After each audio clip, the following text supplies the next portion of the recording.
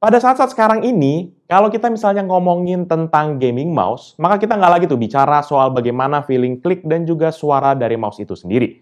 Tapi lebih kepada apa aja fitur dan juga kelebihan dari mouse tersebut dibandingkan dengan mouse gaming lainnya. Mungkin aja hal itu yang memang mengilhami akan ROG dengan menghadirkan sebuah gaming mouse yang memiliki segudang fitur di dalamnya. Seperti apa detail ya? Let's check it out!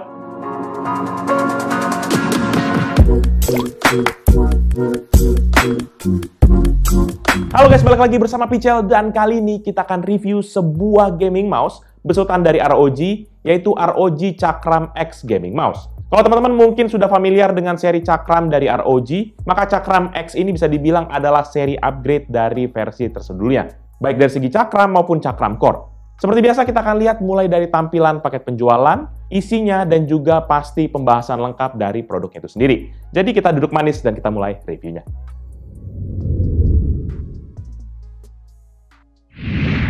Untuk kotak penjualannya, mouse ini sendiri mempergunakan karton yang tebal tapi masih cukup lentur. Dan untuk theme color ataupun warnanya sendiri, kotak kemasan dari mouse gaming ini tuh menggunakan DNA ROG yang berasa kental banget di setiap sisinya.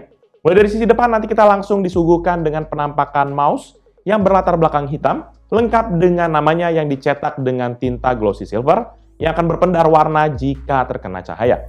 Ditambah lagi dengan informasi fitur-fitur yang dicetak secara vertikal di bagian kanan atas dan juga logo ROG di bagian kiri atasnya. Beralih ke sisi kiri dari kotaknya, nanti hanya terdapat kalimat ergonomic wireless gaming mouse with joystick for ultimate gameplay. Yang ini dicetak dengan beragam bahasa. Lalu kalau di sisi kanan, nanti terdapat sebuah logo ROG di bagian atas, teks ROG Cakram X yang dicetak secara vertikal, tapi menggunakan desain yang sama persis seperti di bagian depan, dan juga logo Asus berwarna abu-abu di bagian bawah. Di sisi belakang nanti juga terdapat spesifikasi mouse gaming ini yang tersaji cukup lengkap, sehingga kita nggak usah lagi tuh susah-susah googling kalau kita mau tahu lebih lengkap dari mouse gaming ini. Tapi menurut Pichel ya, kalau kita udah beli, ya buat apa juga sih dicek detailnya nggak sih? Di sisi bawah nanti hanya ada stiker serial number dan juga alamat-alamat HQ dari Asus Tech Computer yang kita juga yakin nggak akan pernah datang ke sana. Dan terakhir di sisi atas hanya terdapat sebuah logo ROG berwarna hitam dengan latar merah khas dari ROG. Next, setelah kita bahas desain kotak, kita bancu kepada isi paket penjualan. Saat kotaknya nanti kita buka, kita akan menemukan sebuah base karet yang berisi akan unit mouse ROG Cakram X, sepasang micro switch cadangan berwarna hitam, sebuah 2,4 GHz RF wireless receiver, sebuah switch remover, sebuah USB RF extender adaptor dari Type A kepada Type C, satu short joystick, satu joystick socket cover, dan juga satu logo badge berwarna putih yang bisa teman-teman custom sendiri. Kemudian saat base karet ini kita angkat, maka di bawahnya nanti kita bisa temukan sebuah kabel USB ROG paracord dari Type A kepada Type C sepanjang 2 meter dan juga ditemani dengan sebuah pouch, stiker-stiker, quick startup guide, dan juga kartu garansi. Selebihnya nggak ada apa-apa lagi dalam paket penjualannya.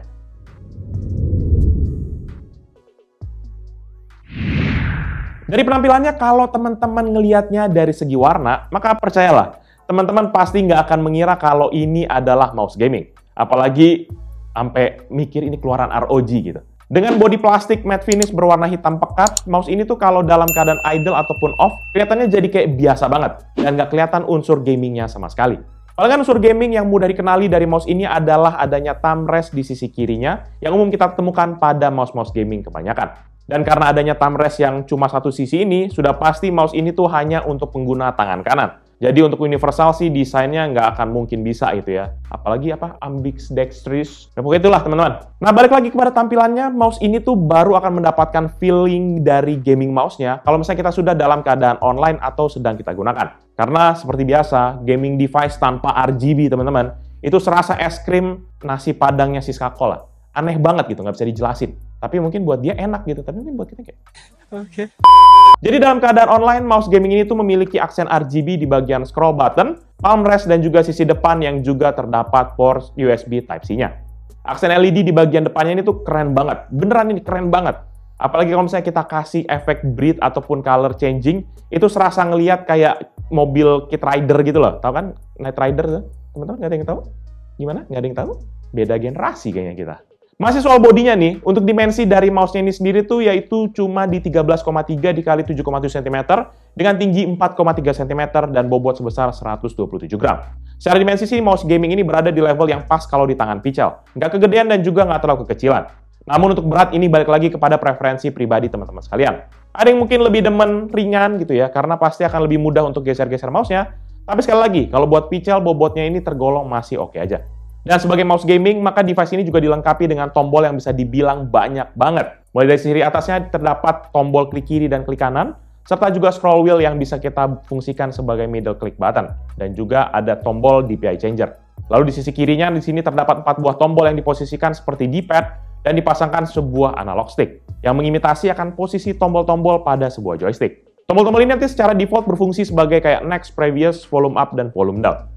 Dan yang terakhir di sisi bawahnya, di sini terdapat tiga buah pad yang terbuat dari bahan plastik PTFE atau politetrafluoroethanol, yang di mana sifat bahannya itu anti basah, serta tahan terhadap suhu tinggi dan memiliki permukaan yang licin, sehingga ujung-ujungnya memudahkan pergerakan mouse ini, terutama di permukaan yang kurang halus sekalipun.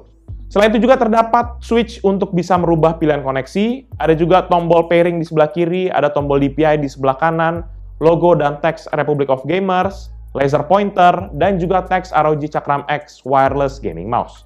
Kemudian yang terakhir untuk sisi connectivity-nya, mouse gaming ini sendiri dilengkapi dengan tiga jenis koneksi, yaitu bisa Bluetooth 5.2, RF 2,4 GHz dengan dongle USB Type-A, dan juga kabel menggunakan kabel ROG Paracord atau yang bisa kita sebut sebagai model kabel braided. Ini tuh memiliki panjang sekitar 2 meter dan memiliki konektor USB Type-C untuk mouse-nya, dan juga Type-A 2.0 untuk dicolokkan kepada PC ataupun laptop. Kabelnya ini lumayan lemes ya, jadi nggak bikin ribet kalau misalnya dipakai di meja yang ukuran besar ataupun ukuran kecil. Cuma dia agak rentan kusut aja kalau bercampur dengan kabel lain seperti kayak kabel keyboard ataupun kabel power kalau nggak kita tata dengan rapi.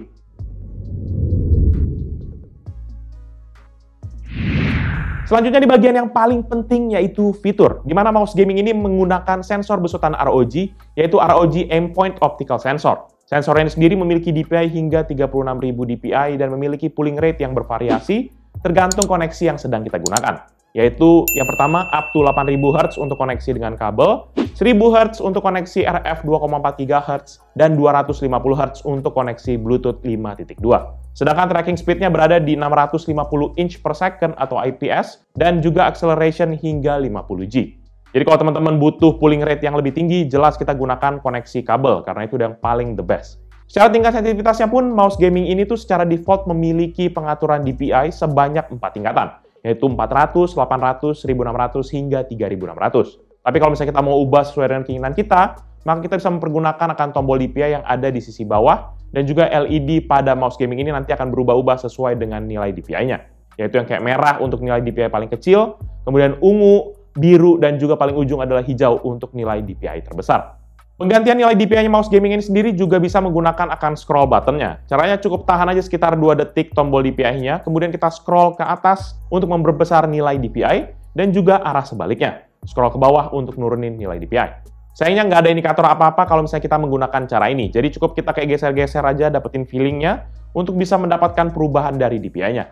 Lalu kalau dirasa kurang pas, maka kita tekan lagi tombol DPI-nya selama 2 detik untuk kembali kepada fungsi awal dari mouse-nya. Lebih lanjut nanti sebenarnya nilai stepping DPI-nya itu bisa kita ubah-ubah sesuai dengan keinginan kita melalui aplikasi Armory Crate. Ya, betul sekali.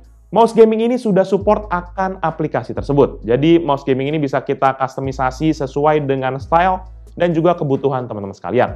Kayak misalnya pengaturan untuk DPI, LED behavior, hingga mouse macro button setup. Nah, ngomongin soal customize, maka buat teman-teman yang mungkin tangannya nggak bisa diem gitu ya, maka mouse ini tuh gampang banget kita bongkar pasang. Karena cangkang atas pada mouse ini tuh bersifat detachable yang menggunakan magnet sebagai perekat kepada bodinya. Jadi setelah cangkangnya terbuka, kita bisa langsung temukan tuh slot untuk menyimpan USB RF receiver-nya, ROG badge yang bisa kita ganti dengan cap ataupun badge warna putih tadi, dan juga sepasang switch untuk klik kanan dan klik kiri di bagian depannya. Dan karena sudah terpampang jelas, maka sepasang switch ini juga dengan mudah kita bisa cabut pasang loh. Atau mungkin kita ganti dengan switch cadangannya. Jadi benar-benar udah kayak mainan bongkar pasang gitu, kayak Lego-Legoan aja gitu mouse-nya ini. Lebih lanjut nanti untuk urusan switch, di mouse ini sendiri memiliki empat jenis switch, yaitu ROG Micro Switch 70M untuk primary left dan juga right buttonnya, dan juga Omron Japan D2F01F sebagai cadangannya. Sementara untuk secondary dan juga joysticknya ini mempergunakan akan membran switch, sehingga nggak seberisik dari yang mekanikal. Kalau secara feeling sih, switch utamanya ini tuh tergolong enak dan juga tactile, baik untuk switch ROG maupun untuk yang Omron. Feedbacknya juga sama-sama terasa effortless banget, jadi hampir nggak butuh tenaga buat ngekliknya. Tapi kalau dari segi suara gitu ya, maka Switch ROG ini terdengar lebih nyaring, jadi cocok banget buat teman-teman yang mungkin lagi mainin game kompetitif gitu. Biar makin terasa feeling gamingnya dan juga dapat feedbacknya. Sedangkan untuk Switch Omron ini suaranya kalem, walaupun masih kedengeran dengan jelas suaranya. Tapi ya memang jelas nggak senyaring dari Switch ROG-nya. Jadi Switch ini memang cocok banget buat pengguna casual yang memang nggak terlalu suka dengan suara klik-klik mouse yang terlalu ribut. Sedangkan switch yang secondary tadi, kayak scroll button dan juga di pad button yang ada di sisi kiri mouse tadi, ini memang feel ngekliknya juga sama banget dengan primary switch-nya. Demikian juga dengan suara-suara klik yang dikeluarkan tombol-tombol ini tuh memang meskipun nggak bisa dibilang senyap, tapi suaranya ini masih terdengar dengan soft dan juga halus. Daripada teman-teman penasaran ya, Pichel ngebacot apa dari tadi yang diomongin gitu ya. Berikut ini deh, merupakan contoh suara dari switch yang ada pada ROG Cakram X Gaming Mouse. Check this out.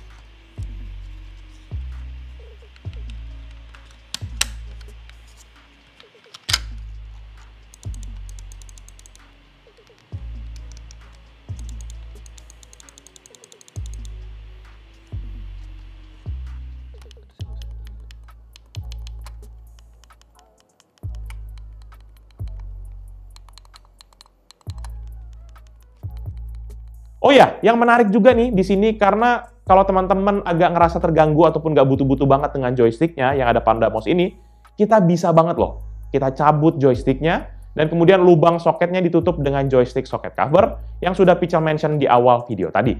Dan untuk mempertenagai akan mouse ini sendiri, yang lebih oke okay di mouse ini adalah dia sudah ditenagai juga dengan baterai berjenis lithium polymer dengan output sebesar 4625 mWh yang diklaim bisa bertahan selama 114 jam jika menggunakan koneksi RF dan juga 150 jam kalau menggunakan koneksi Bluetooth. Tapi teman-teman nggak usah pusing ya soal charger-charger kayak gitulah gitu ya. Karena baterai mouse ini sendiri akan secara otomatis terisi jika kita koneksikan menggunakan kabel bawaannya yang sudah support akan fitur fast charging. Dan memang lagi-lagi karena sudah menggunakan fitur QI charging, maka mouse gaming ini juga bisa melakukan pengisian daya melalui perangkat wireless charging. Jadi kayaknya jor-joran banget tuh ROG untuk memberikan segudang fitur untuk mouse gaming ini.